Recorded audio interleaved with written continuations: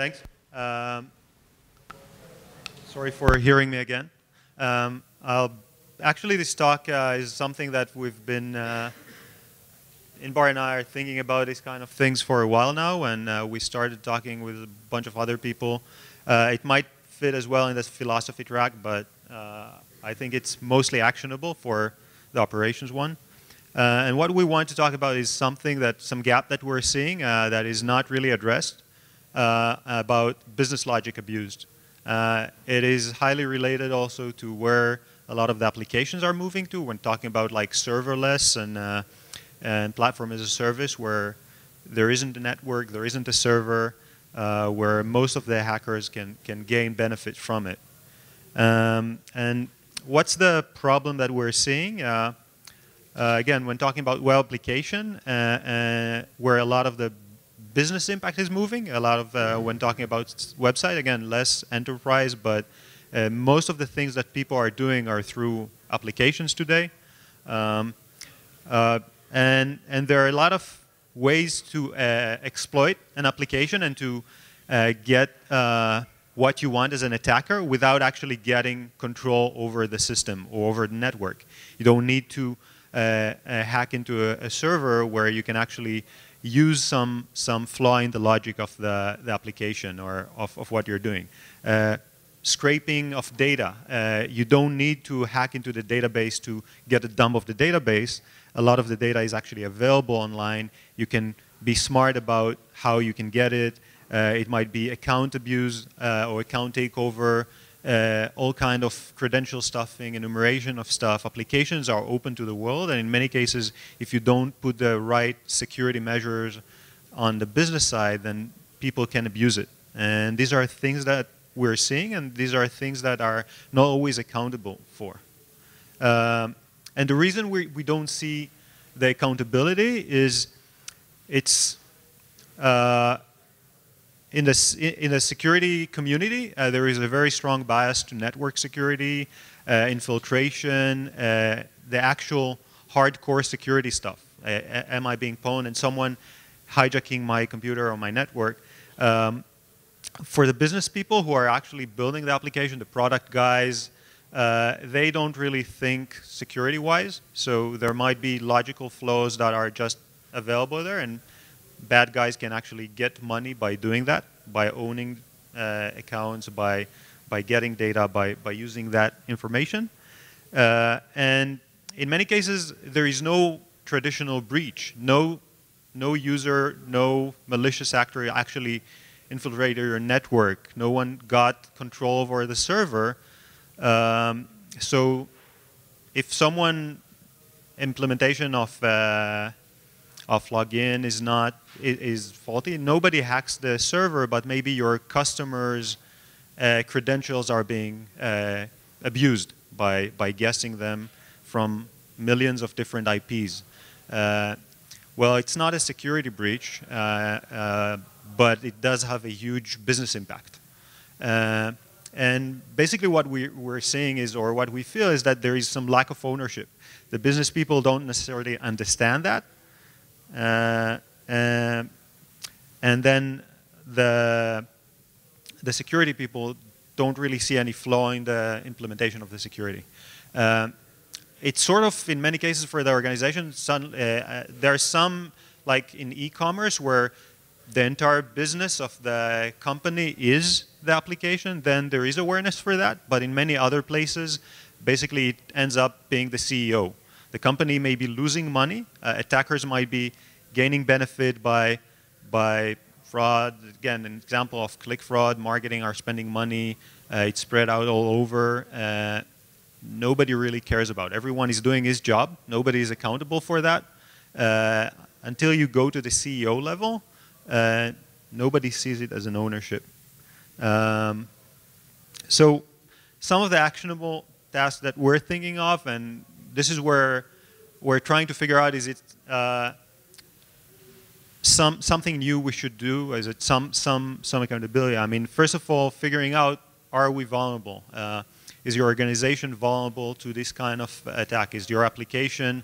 Uh, why what what will an attacker gain by by doing such a thing, uh, what are the financial benefits usually that they may get, uh, which are very different than uh, the, the, traditional security. You won't see that in the access log to servers. It's not SSH. It's not logging to the devices. But what can they get? Is it uh, um, competing against you? Is it uh, uh gaining access uh, or enumerating credit, stolen credit cards on the black market? Again, PCI, I'm, I'm completely covered from PCI, from, from statutory thing. I don't store my passwords. I don't store my, my credit card, but I do let some bad guy test millions of different stolen credit cards through my, my site uh, and basically abuse me, and uh, I might I, my business might be shut down by Visa or by by Amex or Mastercard, basically saying that hey, you're we're getting way too much fraud from from your application. Um, so what are the vulnerabilities and how can we educate the organization to think about that, to figure out where an attacker can abuse my, my business logic and my application. Uh, now, I don't know if it's a new type of ownership, if it's a new type of business logic uh, uh, security, uh, business application. Definitely something that we'll need as we move to serverless, as we move to uh, a place where everything is basically logic implemented somewhere. You, you don't need to protect the server itself, but you do need to protect your application and the logic and how it impacts. Uh, thinking about how to measure that. Uh, and I don't know if it's where security will move to or if it's, again, a, a new role uh, that we need to figure out in organization and, and define the owner, but, but we definitely need to raise more awareness to that, figure out how to measure that, how to measure the, the impact. The interesting thing is that unlike, or I don't know if unlike, but in many cases in security, it's quite hard to measure the exact uh, business impact or the, the financial impact of a breach. Uh, there is like, usually it's like everything is down. Uh, if my servers are being taken over, it's a catastrophic thing. It's like a life insurance event. And here there are like a lot of things that are actually very measurable. If someone is uh, stealing my my users and, and impacting or can do fraud by by gaining control over them or buying things on, on my site, there is a very measurable financial impact on that. If someone is frauding my, my advertising and causing me to pay to publishers more than I need to, it's, it's highly measurable. So uh, this is actually one of the benefits that we can measure that, we can look what is the impact and educate the, the, the rest of the business to be more aware of that. Now, I don't know what's next. This is, again, more of a call for brainstorming or call for awareness. Um, we're, we're extremely interested about that. We do see that many organizations that we're advising to or, or working with are lacking that functionality and, and we're trying to figure out how to educate, how to raise more awareness to that. Um, I think this is it from our end. Uh, yeah. So open for questions or giving you back time.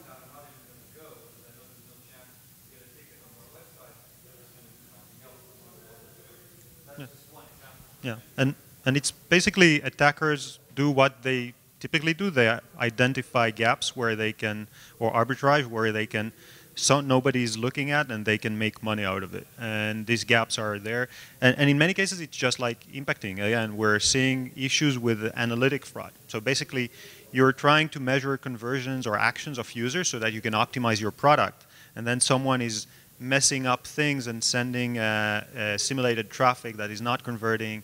You're paying for that, but you're also uh, losing visibility to your business metrics. So you can't make a knowledgeable decision. There is a huge potential monetary uh, impact, but nobody's really aware of that because the marketers are just looking at the numbers and they don't really verify how, how much of a quality, uh, it, if it's garbage in, it's garbage out.